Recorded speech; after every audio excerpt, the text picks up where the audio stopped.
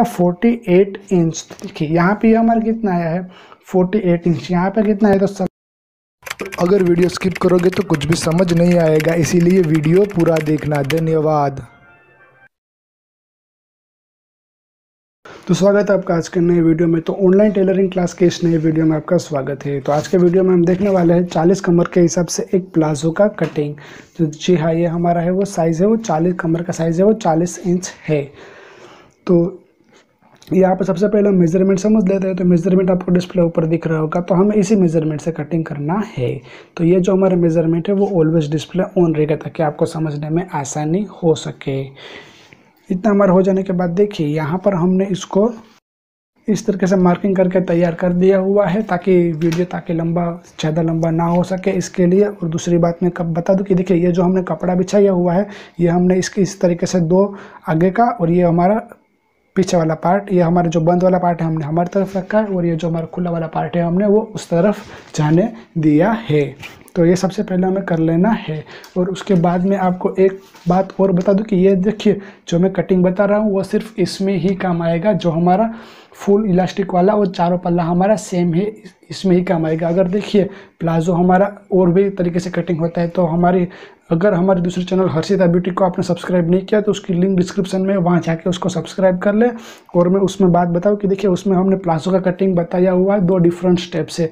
और उसमें हमारा देखिए, ये जो हम बता रहा हूँ, वो उसमें फुल इलास्टिक आएगा और जो हम, वो चैनल पर हमने दिखाया हुआ है, उसमें हमारा हाफ़ बेड और उसमें हमारा पीछे का पल्ला है, वो उठ के कटिंग होता है, आगे का और पीछे का पल्ला अलग अलग से कटिंग होता है।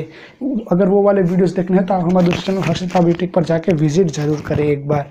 तो अभी सबसे पहले देखिए, यहाँ पर हम लेंथ का मार्किंग करेंगे तो लेंथ का मार्किंग करने से पहले हमें एक मार्किंग और करना है, वो करना है हमारे आसन का मार्किंग तो देखिए, चालीस इंच के अनुसार हमारा जो थाई का मार्किंग है, आज जिसको हम आसन बोलते हैं, वो हमारा आएगा पंद्रह इंच पर। अभी देखिए अगर हमारा आगे का और पीछे का पल्ला अलग अलग कटिंग होता है तो इसमें हम यहाँ से एक इंच एक्स्ट्रा ऊपर की तरफ़ करते थे और फिर हम जो आसन का मार्किंग करते थे, वो हम करते थे करीबन साढ़े बारह इंच पर। तो यहाँ पे ये यह हमारा इतना साढ़े तीन इंच का फ़र्क होता, लेकिन वो हम, वो उसमें हम क्यों, कम क्यों करते हैं, वो हम जब पीछे का पल्ला कटिंग करते हैं तो उसको हम यहाँ से इस तरीके से क्रॉस में मार्किंग कर देते हैं। वो वाला जब भी आप वीडियोस देखेंगे तो आपको ऑटोमेटिकली समझ में आ जाएगा। वो वाला फॉर्मूला इसमें काम नहीं करेगा, इसका फॉर्मूला उसमें काम नहीं करेगा। ये बात आप ध्यान रखें। तो देखिए, यहाँ पर जो हमारी चालीस साइज़ के हिसाब से जो इसका आसन आएगा, वो आएगा हमारा पंद्रह इंच पर। और उसके बाद जो भी लेंथ है, वो आप अपने कस्टमर के हिसाब से रख सकते हैं। यहाँ पर हमें थर्टी इंच ले रहा हूँ, और उसके बाद चालीस इंच पर और एक मार्किंग करेंगे। जो हमारा मार्किंग है, वो आएगा। मोड़ने के लिए वो मार्किंग हमारा आएगा। इतना हमारा मार्किंग हो जाने के बाद इसको हम स्ट्रेट मिला लेते हैं।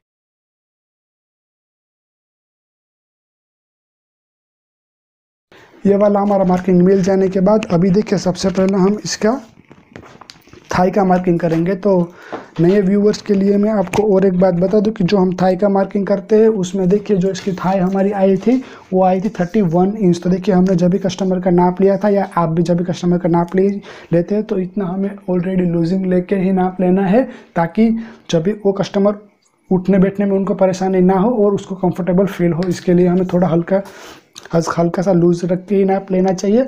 और तो देखिए लेना है और यहाँ पर हमारी थाई है थर्टी वन इंच है तो थर्टी वन इसका हमारा आगे का और पीछे का पल्ला हम कटिंग करेंगे तो ये हमारा करीबन थर्टी वन को हम दो के साथ डिवाइड करना पड़ेगा। तो ये हमारा आएगा करीबन साढ़े साढ़े पंद्रह इंच। तो देखिए, यहाँ से हम इसको साढ़े पंद्रह इंच पर मार्किंग कर देंगे। ये वाला मार्किंग हो जाने के बाद यहाँ पे हम करीबन दो इंच अंदर की तरफ़ मार्किंग करेंगे और फिर यहाँ से देखेंगे तो ये साढ़े तेरह इंच आ रहा है। तो साढ़े तेरह इंच यहाँ पे हम इस तरीके से मार्किंग कर देंगे और उसके बाद हम मोहरी का मार्किंग करेंगे। तो देखिए, मोहरी का मार्किंग करने में अगर आपने कस्टमर का नाप लिया है तो आप उसके हिसाब से मोहरी का नाप कर सकते हैं। अगर ऐसे आपने नहीं लिया तो आपको करना कुछ नहीं है। यहाँ पर जो आपकी जितनी थाई है तो यहाँ पर हमारी थाई है साढ़े पंद्रह इंच तो यहाँ पर भी वही सेम प्रोसेस से हम साढ़े पंद्रह इंच पर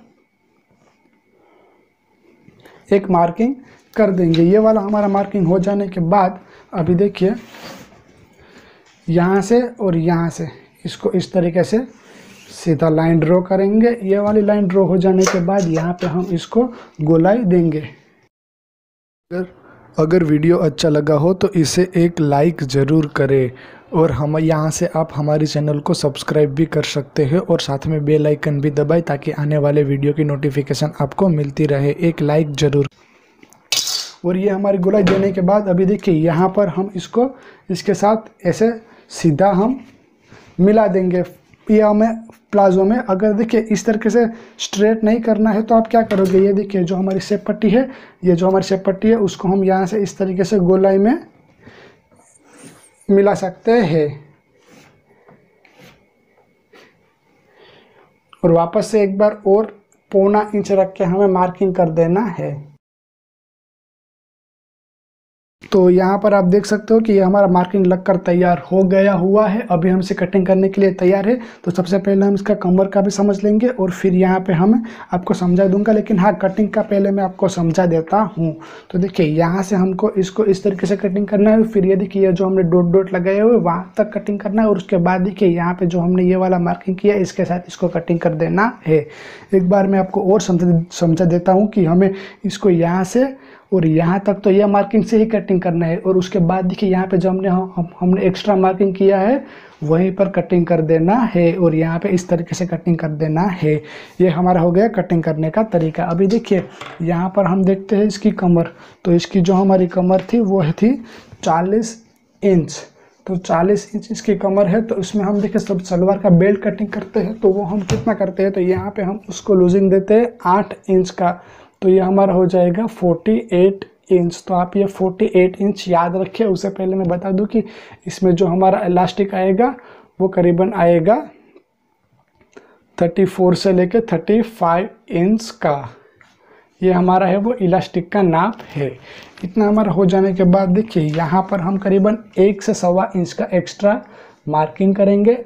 मार्किंग नहीं करेंगे बल्कि सिलाई लगाएँगे। सिलाई लग, लगाने के टाइम पर मैं आपको बता देता हूँ। देखिए कटिंग तो हमने यहाँ से कर दिया हुआ है। अभी हम सिलाई लग सिलाई कैसे लगाए तो यहाँ पे हमें इसको इस तरीके से यहाँ तक एक इंच यहाँ से आते आते आते पौना इंच यहाँ पर यहाँ से आते आते आधा इंच यहाँ पर और यहाँ पे आते आते एक दाब।